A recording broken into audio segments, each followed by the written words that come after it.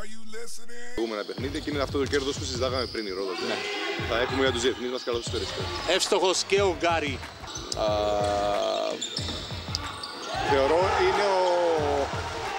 Κοντή να μην έχουν ρυθμό. Γιατί Ναι. η μπάλα πάει συνέχεια μέσα. Δεν, δεν σημαίνει ότι είναι λάθος αυτό. Απλά συμβαίνει αυτό. Δηλαδή στην προσπάθεια να, να βγει ο Κάιζερ έξω για να περάσει η μπάλα μέσα και να υπάρχει συνέχεια σε αυτό. Rebound ανά αγώνα. Σήμερα δείχνει ότι πιθανόν να πιάσει αυτά τα νούμερα. Απέναντί του έχει όμως έναν εξαιρετικό καλαδοσφαιριστή όπως είναι ο, ο Πυρίλης που πέρασε το παιχνίδι στο Ζάκη Παπαδόπουλο.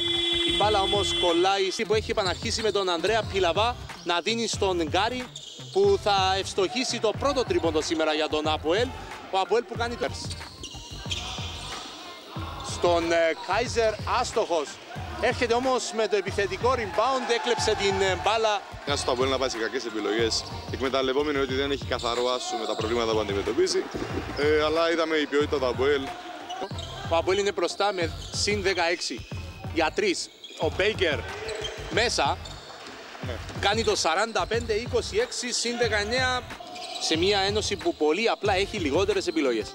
Μάιερς θα απαντήσει με δικό του παραλυμνίτες, όμως προφανώς δεν έχει έρθει ακόμη.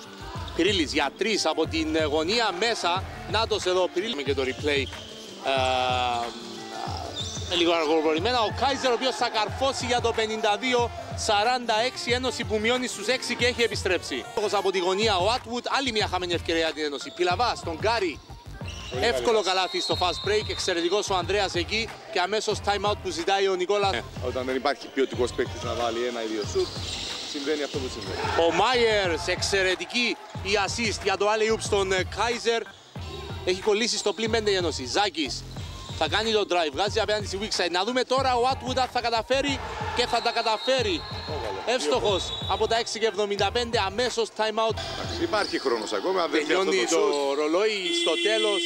Μέσα, μεγάλο καλάθι από τον, από τον Γκάρι και το τέλος της αναμέτρησης στο Κίτιον με τον Αποέλ να επικρατεί δύσκολα τελικά με 65-59 της ε, Ένωσης Νέων Παραλιμνίου.